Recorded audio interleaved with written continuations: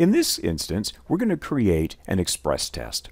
Going to the main category of Assessment Admin, we're going to click on Create, and then because we're choosing an express test, we're going to click on Start Now. We first begin by choosing our title. Now recall that titles are made up of three segments. The far left side is a descriptive name divided by an underscore. The middle section is the combined grade and subject with no space between the two, and again separated with the final or rightmost portion with an underscore, the standard.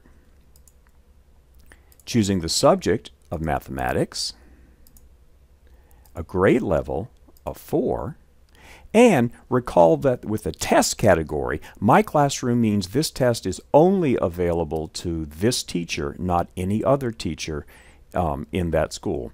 If you chose shared classroom, then any other teacher in your school may see that, but not outside of your school. And in regards to hiding the item content, if this is a test I may want to use again, I'm going to say yes so the students can't see the test results. And scrolling down, one other option I'm going to turn on is saying yes to enable assessment notes, and it allows teachers and administrators to add comments of how they feel that test went. And then I'm ready to select the standards. Well, in this case, I want to choose mathematics, and I'm going to scroll down and notice here's the breakdown of the standards and of real importance is to the far left the count of the number of questions in each of those standards. In my case, I want four in so I'm going to put a check mark there and then expand by clicking on the plus sign. Specifically, I'm interested in B and further categorizing within 3 and then finally 3D. And so moving down to 3D, I check that box.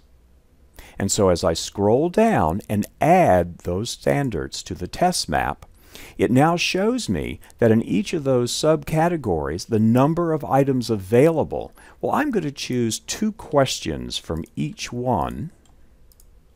And notice it automatically adds those for a total of eight and requests that it build the express test.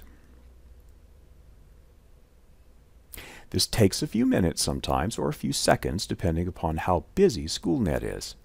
And now that test has been built, I always want to make certain that I look to make certain that everything looks normal. Now right now it appears that these particular images are not showing up.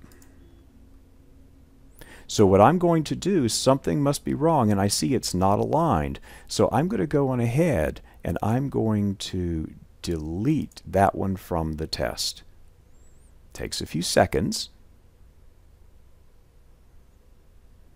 And now that one has been deleted from the test.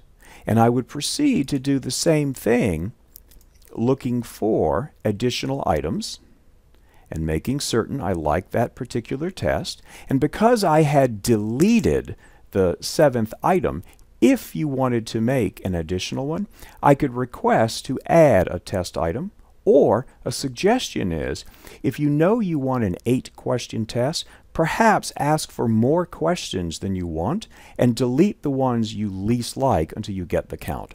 But in this case, I'm ready to schedule this test, or you note can also preview the test online.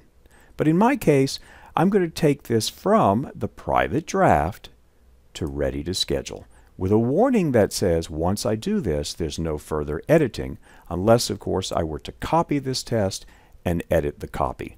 I'm going to click OK. And now this test is ready for scheduling.